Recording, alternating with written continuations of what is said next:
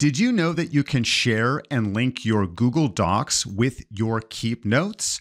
Well, in this video, I'm going to show you all of the different ways in which you can share information between these two apps and stay tuned to the very end because I have a bonus tip for Google Calendar users.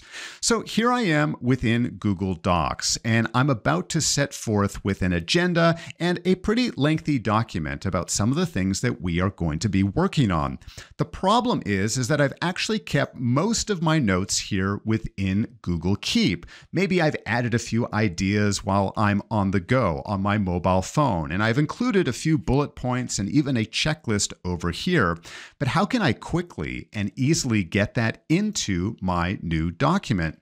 Well, rather than coming over here and trying to copy and paste this text, there is a much easier way. And in order to do so, we're going to make use of the Google side panel here on the right hand side.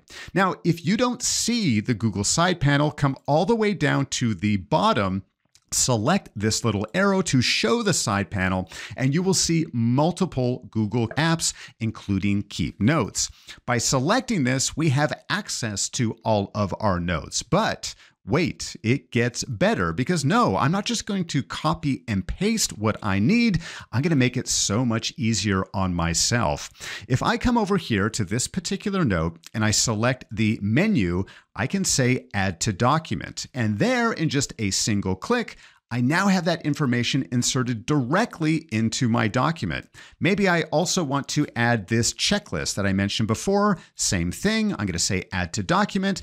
And now I've added that checklist as well. You will notice in this case, it's going to convert the checklist into bullet points, but I can of course edit that any way that I like here within the document. The nice thing is that this also works for images. So let's say I want to add this image into my document as well.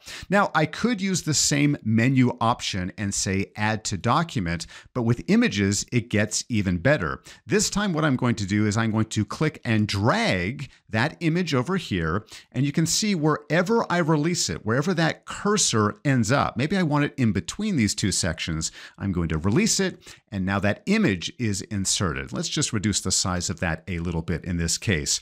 Maybe I want that last image, this uh, circle image here with the documents. I want this near the bottom. Again, I'm just going to insert it and paste it into my document. I'm going to resize it so it's a little more uh, fitting with this particular document. And so now in just a few clicks, I've added these several notes here from Google Keep directly into my document, and perhaps I'm almost done. I can continue to work the way I like by adding little snippets or short notes or images here within Google Keep, and then bring them into the relevant document.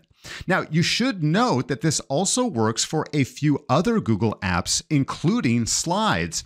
So maybe instead of a document, I'm putting together a presentation and I want to include these budget numbers. Let's just say add to slide. And if I want to add that image, I can just click and drag it, put it on the slide as well. Let's just resize it a bit and perfect. This slide is almost done. Now, while this is a super easy way to get information out of Keep into your doc or slides, what about if we want to go the other way?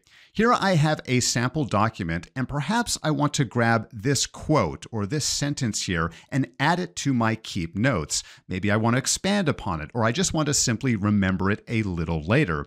Well, we can do that here as well. The nice thing is that we don't even have to have the sidebar open or the side panel. All we need to do is select the piece of text or images that we like and then select right click.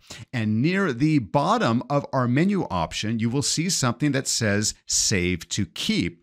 By selecting that option, it's going to automatically bring in that snippet or whatever it is that you've highlighted into a Google Keep note but it gets better. Not only have we grabbed the text, but if I click on this note and expand it, you can see that it's actually added a link, a direct link back to this document. So if I open up my Keep Notes, and here is that new note, and I say, where did I find this particular quote? Or where can I find out more information? I have that link directly here. If I click on it, it's going to take me exactly to that particular document where I can go and find other sources or do whatever it is I want to with it. Now, going back to Google Keep, we don't have to keep this link if we don't want it. You'll see that there's an X here, so if we want to remove the source, I can do so. But there's also an additional way in which we can link notes in Google Keep to a particular document.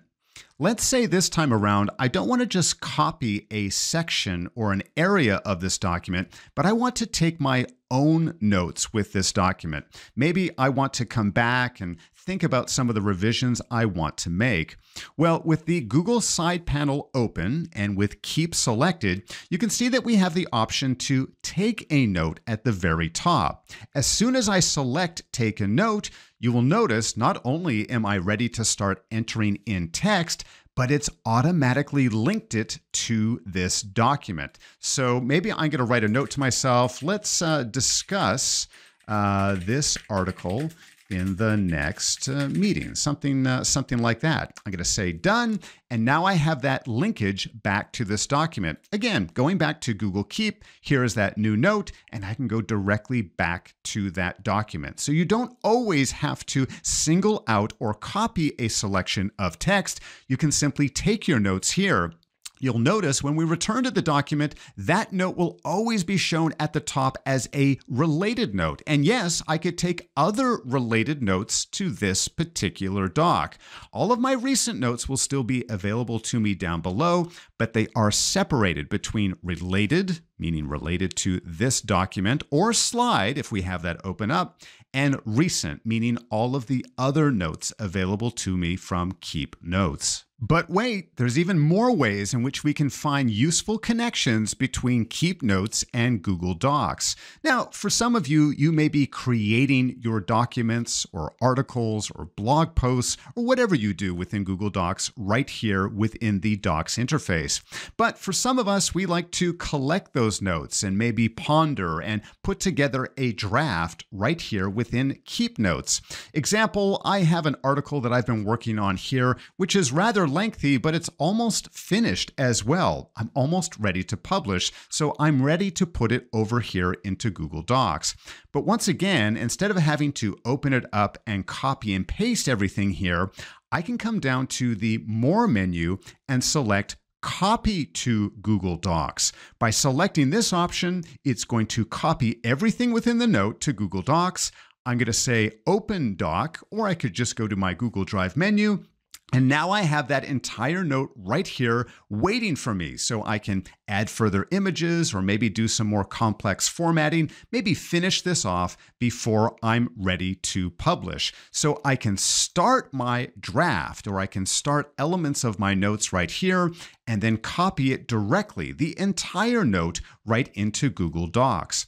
Now, it should be noted that there is no sync or link between these two. When we select copy from this option here, it really is going to be copying that particular note. If I start to add or make changes here, nothing will be reflected here on the Google Keep side. Now, as I promised at the beginning, I have an additional bonus tip for those of you who use Google Calendar and also want to connect it with your Keep Notes. You will notice that the Google side panel is available to you here as well. So if I open up Keep, I have the ability to start taking notes directly from this window. But we can also connect our notes directly to meeting events. Here I have an upcoming meeting and I want to take a few particular notes but I don't want to add it in the description of this event because I don't want to share it with those whom I'm meeting with. I'd rather take my own note here and then reference it when the meeting arises. So with this meeting selected within Google Calendar, I can come up to Keep Notes and say Take a Note. And you will notice not only is it ready and waiting for me to start inputting those notes, but I now have a link directly back to this event. So I can say, uh, let's uh, talk about this uh, before the meeting starts. Or I can add all of my bullet points, all of my notes that I want to prepare in advance. And when I select done, I have a related note with this particular meeting. It doesn't matter if you're viewing this calendar event from the main screen or if you open up the note in full view, you will have that related note available to you here. But if we go back to Google Keep, here we have that same note, and yes, we have that link. So, what meeting are we talking about? What do these notes refer to? We can quickly and easily, in just a single click, go directly to that particular meeting in our Google Calendar. Now, if you enjoyed these Google tips and tricks, you're going to love my other Drive and Keep Notes videos right here on the Simpletivity channel. Remember, being productive does not need to be difficult. In fact, it's very simple.